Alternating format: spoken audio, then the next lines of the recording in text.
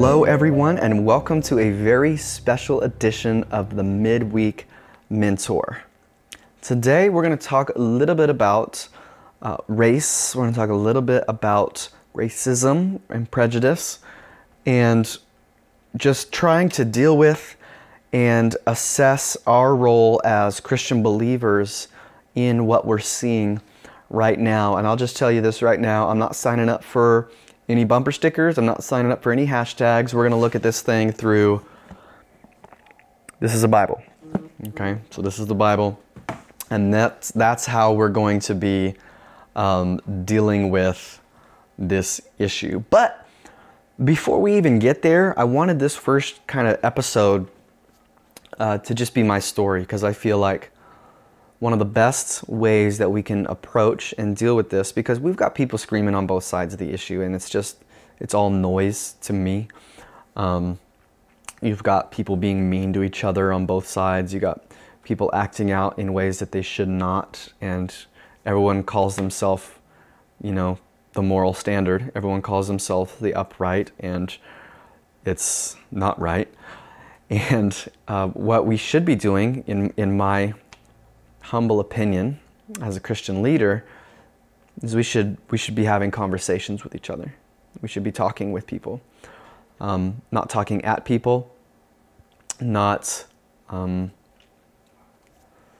not barraging people with our our chosen list of facts. It's just not right, and that goes both ways. And so you're not going to get any bumper sticker theology from me uh, today. Uh, today is just going to be about my story. And hopefully, this story can um, impact you or hopefully open your eyes to, to look at your own lens, to look at the way that you are, have been viewing the world because I, I, for the most part of my life, was not viewing the world the right way. So I grew up in Yuba City. It's a town about the size of Lodi, about 60,000 people, and it's up north past Sacramento and before Chico, right on 99. And so not too far from here, um, and very similar to Lodi, really. And I grew up there, spent about 19 years of my life there uh, before coming to the San Joaquin Valley. And for those of you who don't know, the way I came to the San Joaquin Valley was through jail. They shipped me, I got into big trouble, and they shipped me to Stockton to do a drug program there. But before that, while I was growing up, man, I just I love my parents and they they gave me so much. They gave me and I wasn't raised in a Christian home, um, my mom tried a few times to take me to church, you know, and both of my parents had like the Christian values, um, the moral standard in them, but you know, church wasn't like on the docket. My mom tried a few times, and I went with a neighbor a few times. I knew who God was, but I wasn't exactly raised in church. But my parents did a wonderful job just being kind. Like I never saw them fight. I know they fought, probably fought, I never saw them fight. They they had enough restraint to not fight in front of my sister and I. And that just goes to show like the kind of people they are. Very, very kind, courteous, respectful, patient. Uh, they're wonderful people. And one of the good things I got from that was growing up, I just didn't have a lick. I can say with all integrity, I did not have a lick of racism in me. Um, Yuba City, for those of you who don't know, has got one of the few Sikh temples, and it was on my street, Terra Buena Road in Yuba City, has a Sikh temple on it, and there's a Sikh parade that happens every single year that draws about 60,000 East Indians to that one street, and it was just, it was bonkers. It was crazy. It was a huge celebration, and so um, as far as diversity, there was some in my little podunk town of Yuba City. And I had East Indian friends. I would go to their house. Um, and believe me, there were definitely um, different shades of, of everyone. And I never remember feeling, God is my witness, I never remember feeling or thinking, looking at someone who looked different than me, I never remember feeling, well, they're probably this or they're probably that. I just never had that. But the story goes on getting older, I started to feel like because I didn't feel that way, probably nobody felt that way. It was probably all, you know, racism, that's old, you know, that's not real anymore.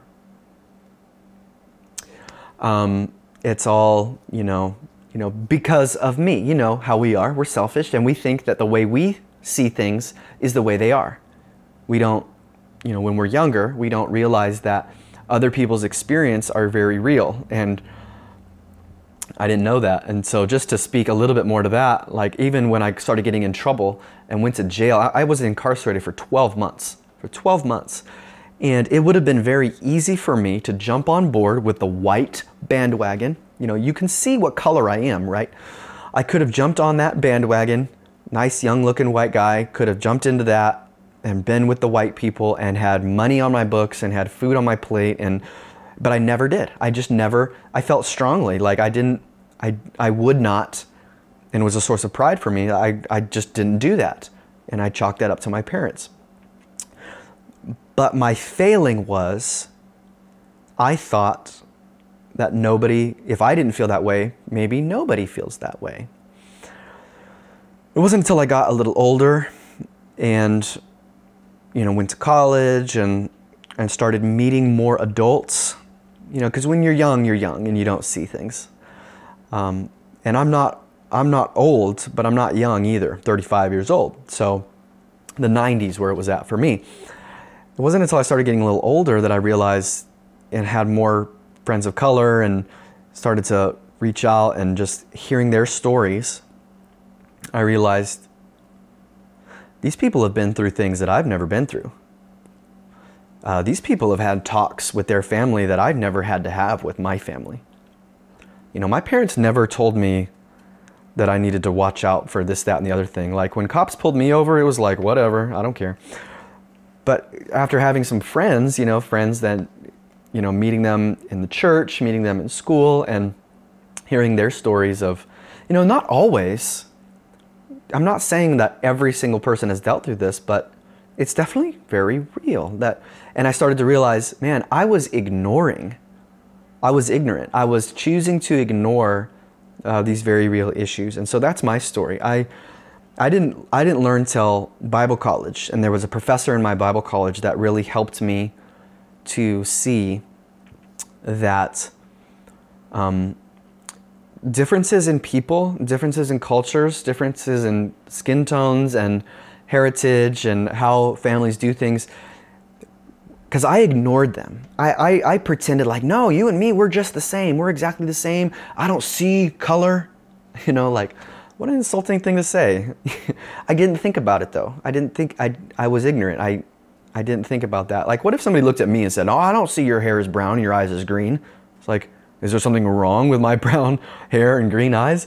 You know, I just didn't I didn't think that uh, diversity should be celebrated and we should champion that and um, you know, the truth is our country has got some dings on our record. That's a very very light way to put our heritage. Um, but it's real. It is real. And so I wanted to just start by saying my story, you know, as a white young man, just in my context, you know, your context might be different. I understand that. That's exactly what I'm trying to say. Like, we all have a different perspective on this. We all have a different worldview. But if you're a Christian now,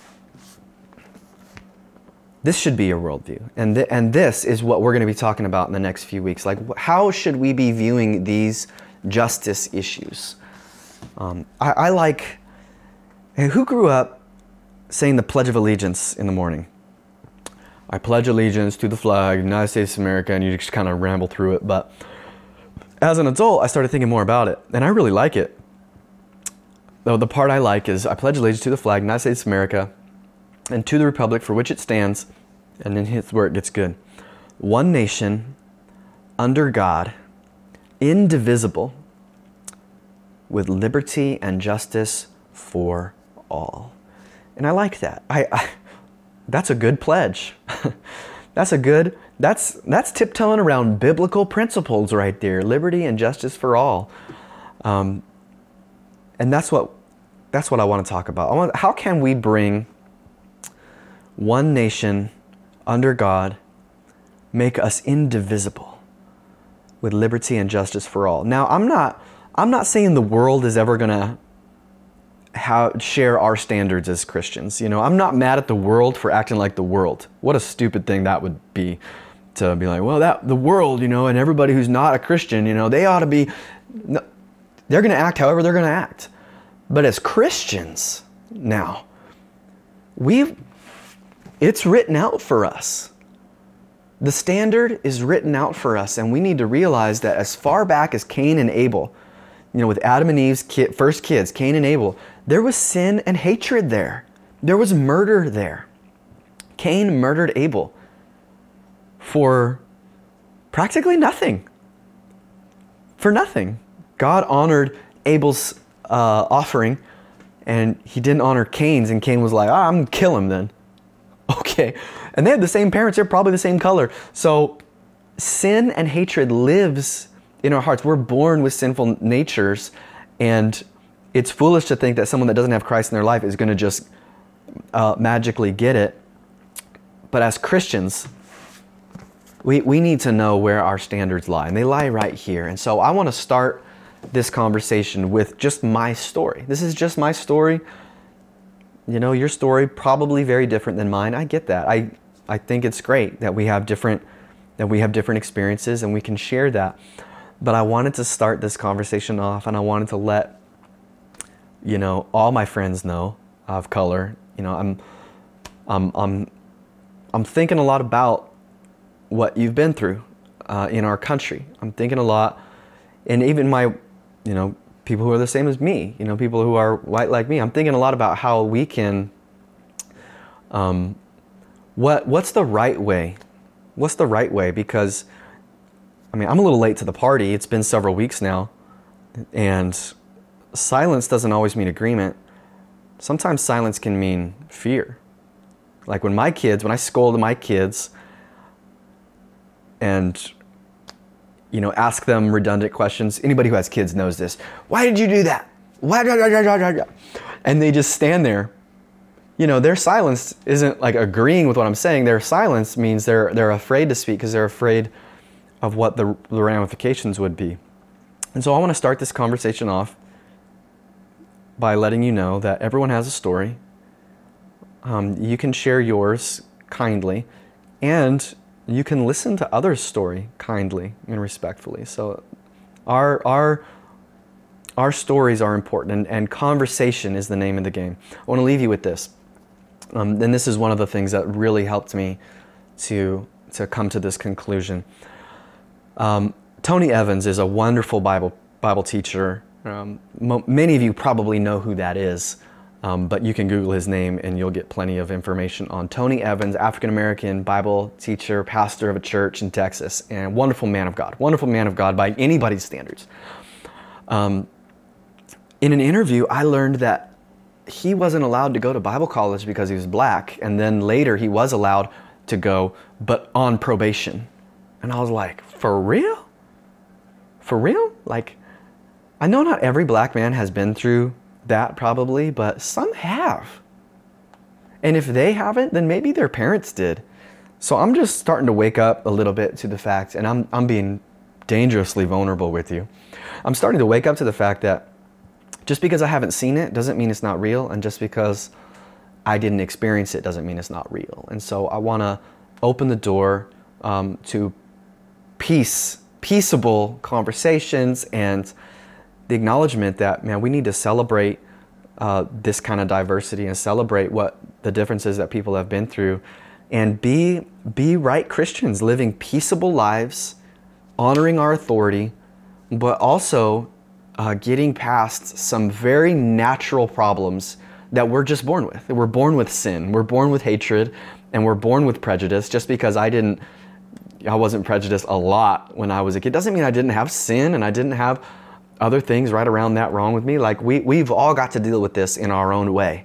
And we've all had different experiences. So we need to really rally around this Word of God to see, man, how can we deal with this? How can we get close? Now, I know this wasn't a normal Bible study. This was just a story. And so I want to thank you for joining me for this. And I hope my story was helpful to you.